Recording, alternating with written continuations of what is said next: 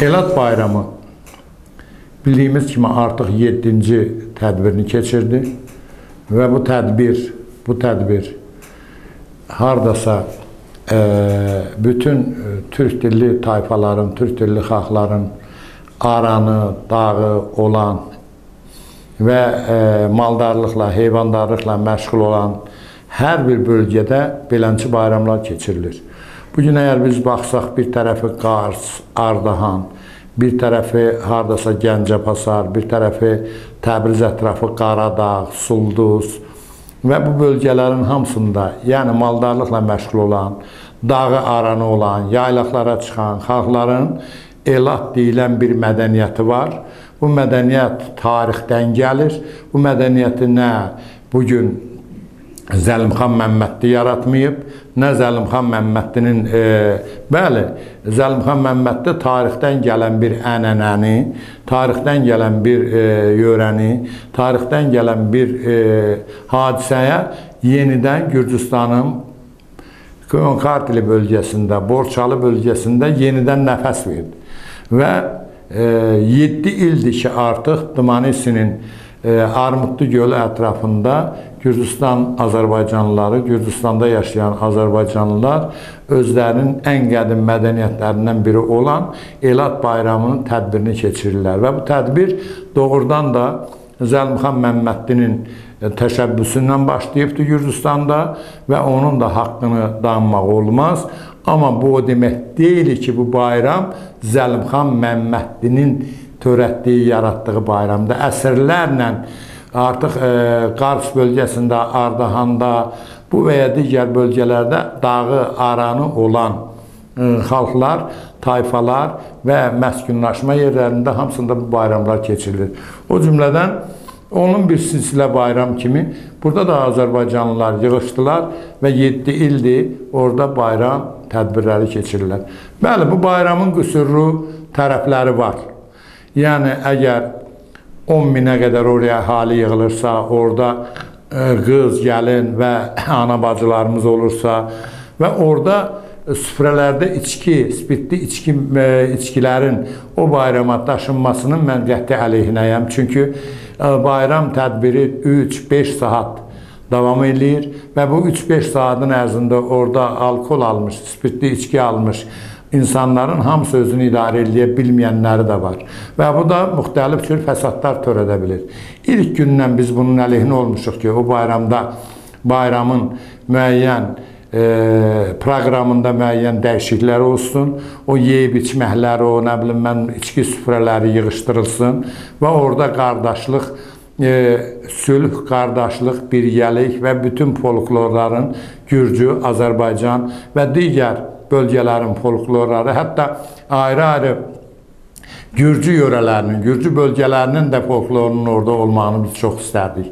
İstərdik ki, Gürcünün dağ bölgəsindən də orada iştirak eləsinlər, Aran bölgəsindən də iştirak eləsinlər, Qaxetdən, Svanetidən, Qərbi Gürcüstandan, hər birindən istərdik ki, orada müəyyən folklorları, mədəniyyətləri, tarixlərini əks etdirən müxtəlif orada e, deməli göstərilər olsun. O cümlədən bəli, Borçalıdan zamanla, tarixlə köçmüş e, xalqlar var. Bu xalqın bir ucu deməli Təbrizə, e, Soldusa, bir tərəfi Ardahana, Qarsa, Türkiyənin bütün regionlarına getmiş Borçalı kökənli e, xalqlar var.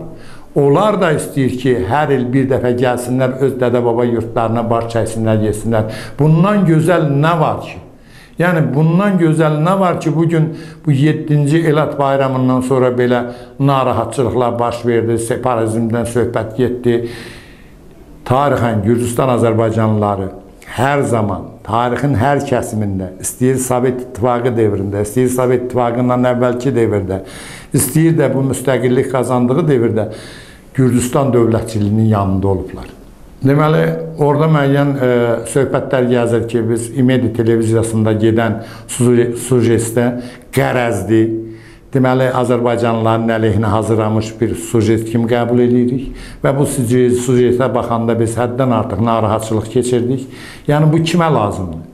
Olmayan şeyi qabardıb, olmayan şeyi olmuş kimi işgörcü ictimaiyyətinə çatdırıb bu xalqın arasında soyuqluğu yaratmaq kimə xidmət eləyir? Hansı xalqa xidmət eləyir? Məncə bu nə gürcüyə xidmət eləmir, nə Azərbaycanlılara xidmət eləmir.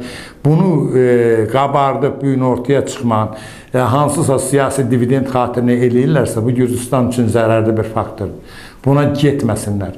Bu gün qeyri-hökumət təşkilatlarından və yaxud da hansısa bu hadisələrin heç birini el adla bağlamaq lazım deyil. Hadisələrin gərginləşməsinin əsas səbəbi iki stadionda baş verən hadisələr oldu.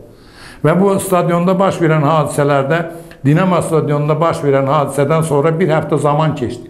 Bir həftə zaman keçimində Azərbaycan dövləti etirazını bildirdi. Gürcüstan tərəfi rəsmi cavab vermədi və mənə heç bir bu iş, iş görmədi. Bir həftəlik zaman kəsimində e, milli, milli, minlərin gözü qarşısında hərəkət edən hər hansı bir ekstremisi həmin dəqiqə anında cəzalandırılmalı idi və onun da rəsmi cavabı verilməli idi. Çox təəssüflər olsun ki, Gürcistan Daxili İşlər Nazirliyi və yaxud da ona oxşar e, strukturlar bu haqda işləmədilər və bir nəticə olmadı və bunun adekvatını Qəbələdə artıq daha e, deməli e, qabarıq şəkildə göstərdilər.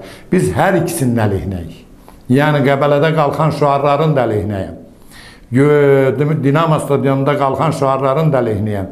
Futbol dostluq rəmzidir, qardaşlıq rəmzidir. Futbol millətləri birləşdirməlidir, xalqı birləşdirməlidir. Əksinə, bir elə milləti stadiona yığa biləcək bir oyunda milli münasibətlərin gərilməsi üçün heç nə olmamalıdır. Və hamı sağ duyğuda olmalıdır. Hamı düşünməlidir ki, artıq dünyada qloballaşma gedir. Bu qloballaşmada milli münasibətləri gələcək və lazım olmayan formada heç nə e, şüar ortaya qoymaq lazım deyil. Yəni Borçalıda heç bir separatist milli insan yoxdur. Mən bunu 7-dən 77-yə hamının adından danışa bilirəm. Əgər bircə nəfərin bircə nəfərin hərəkətində, yazısında, hər nəsindəsə belə bir şey varsa, mən yəni bunu Gürcüstanda yaşayan Azərbaycanlıları özü cəzasını verər. Yoxdur belə şey milləti millətə qarşı qoyub, cəmaatı qarşı-qarşıya gətirib və regionda soğuq rüzgarların əsməyinə səbəb olan şəxslər düşünsünlər ki, bunun arxası hara gedə bilər. Qaldı, bugün e, bu hadisələrin fonunda e, sözünü bilər, bilməz, qandı, qanmadı, müəyyən Azərbaycanlı qurumları da bu məsələyə bəzisinə haqq verənlər var. Mən özümü buradan onlara tutub deyirəm. Bircə dənə sənət gətirin.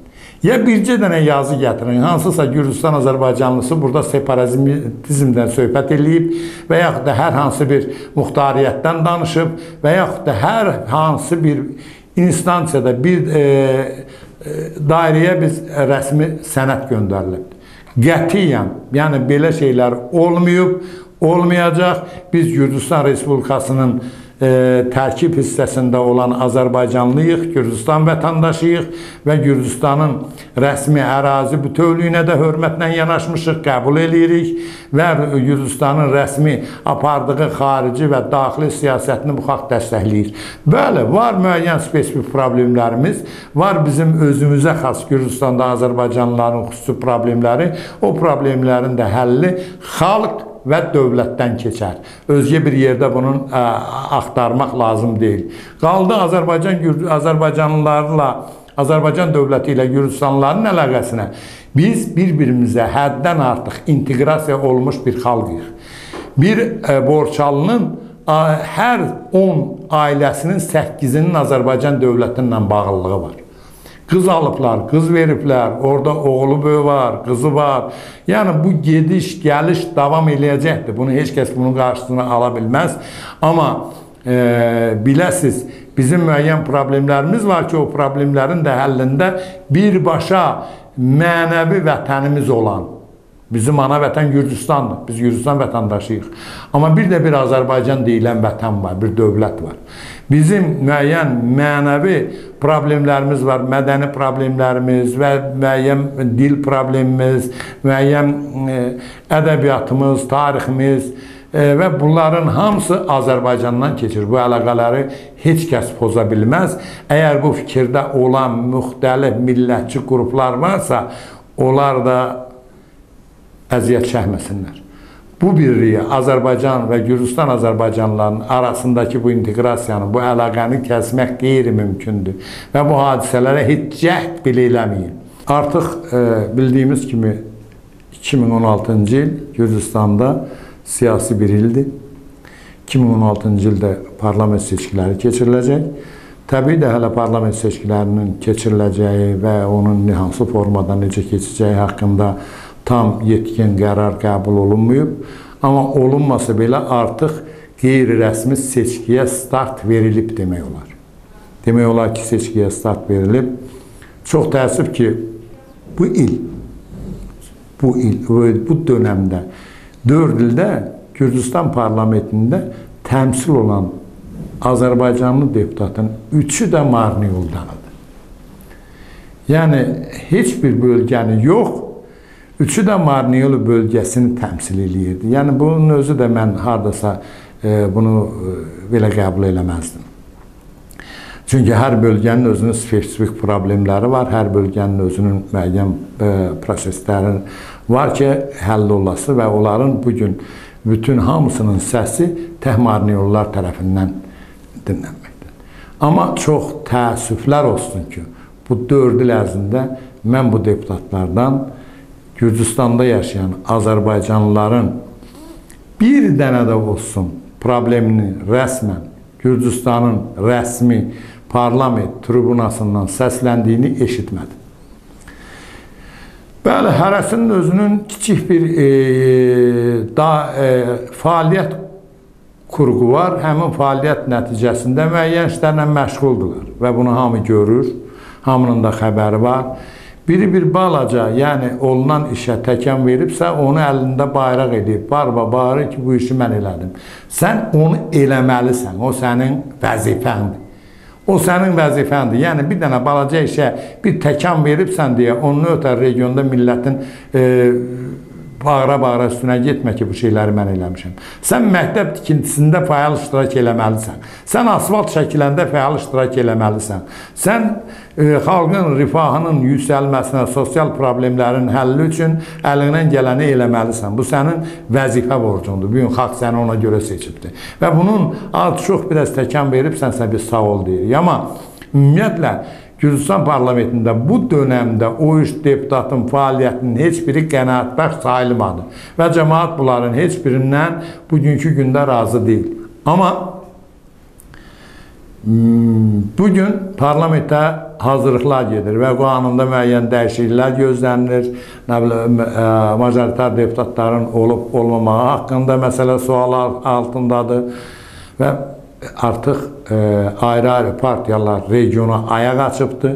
Bugün məhz mən bura gələndə e, Alasanyanın partiyası artıq Marniolda öz birinci yığıncağını keçirirdi.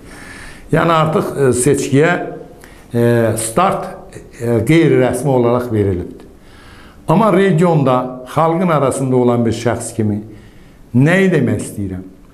Bu partiyalar öz siyahlarına müəyyən adamları götürən zaman heç olmasa regionun müəyyən qeytilərində və ictimai nümayəndələrindən, müəyyən e, region ağsaqqallarından kimləsə müəyyən məsləhətləşmələr aparsınlar.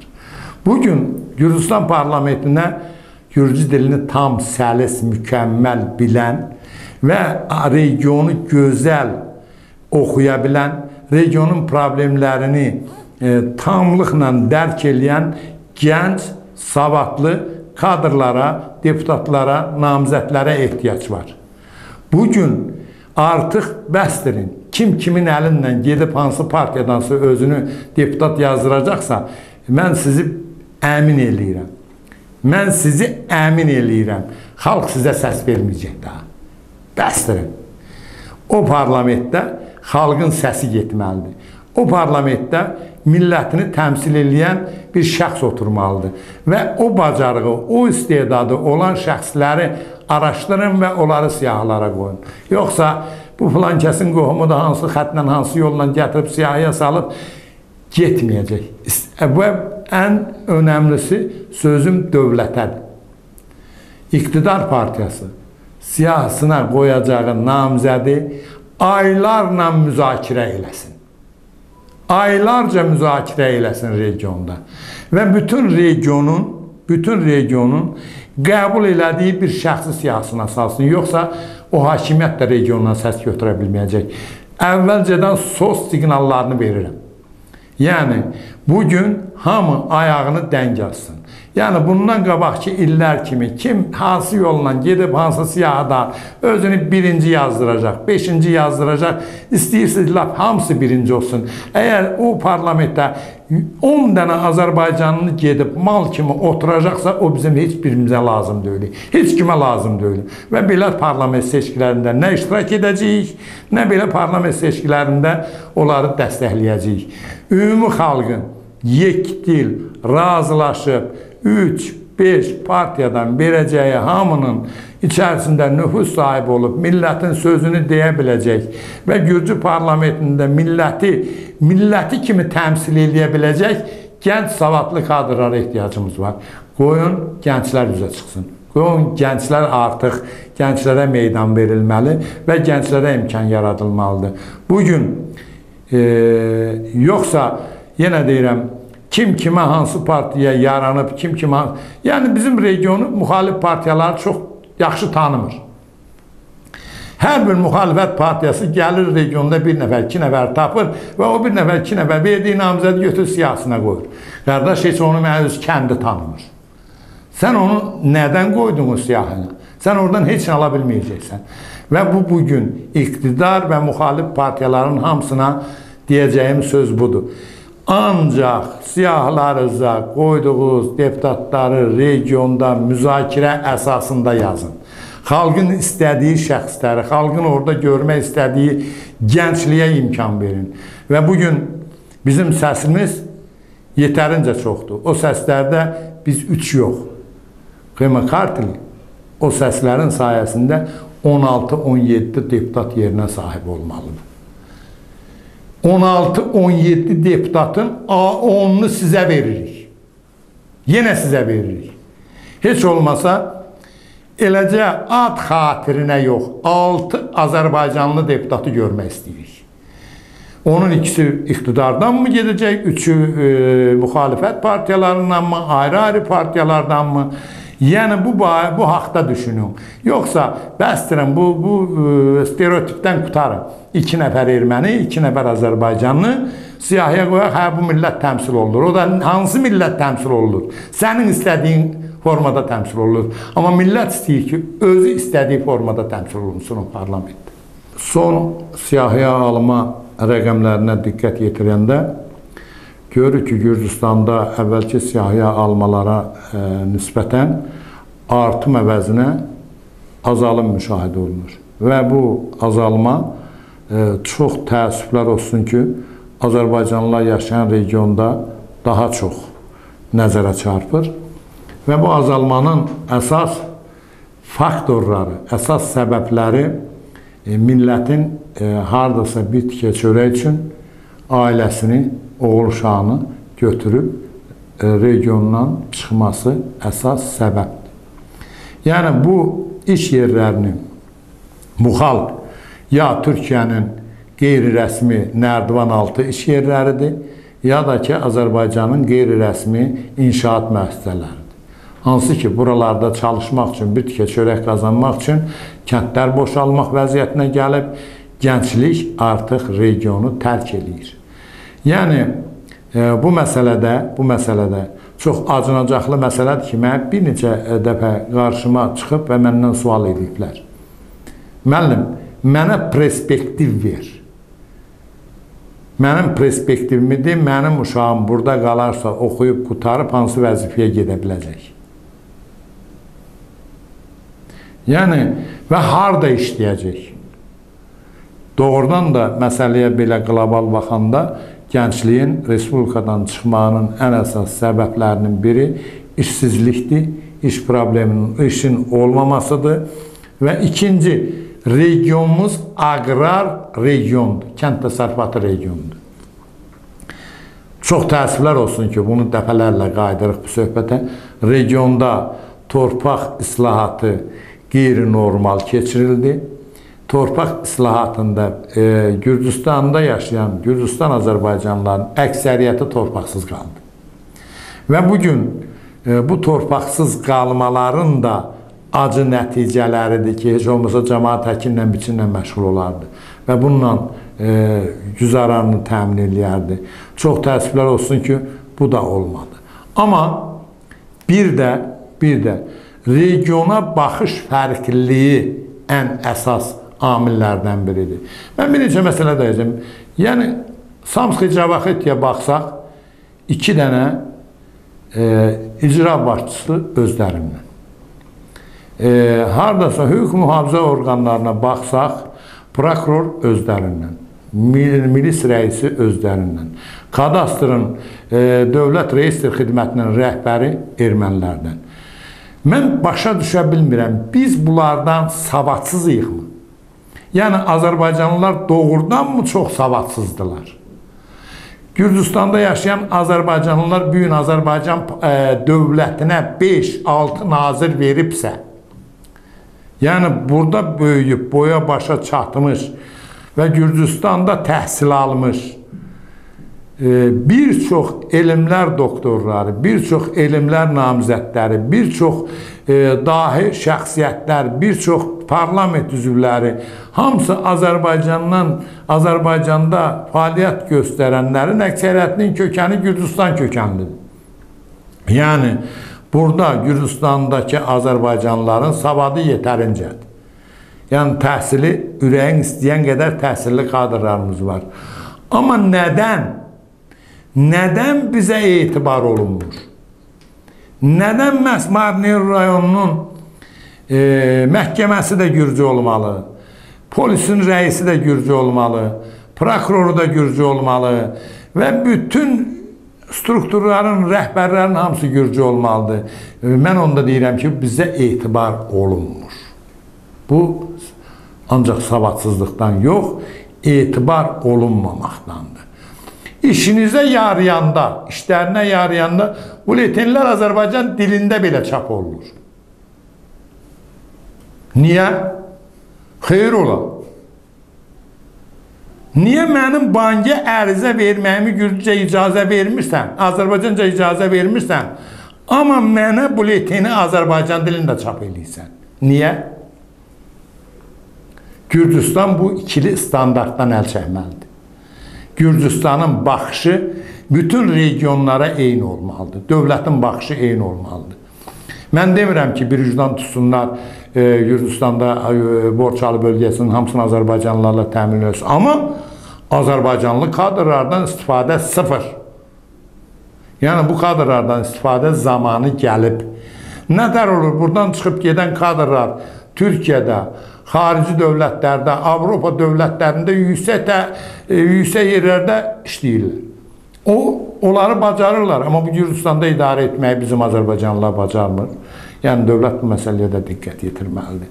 Və bu siyahıda alınmada geriləmənin səbəblərinin əsas faktorları bunlardır və buna bu gələcəkdə nəinki təkcə Azərbaycan, ümumiyyətlə baxanda 800 min Gürcüstanın əhalisi azalıb. Bu bir faciədir.